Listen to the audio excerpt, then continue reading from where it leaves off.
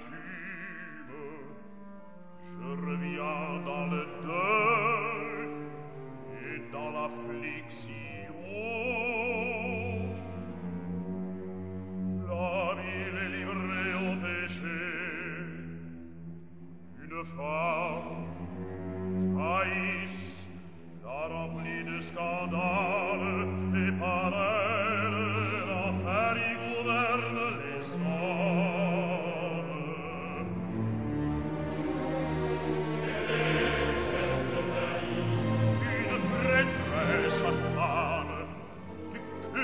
feres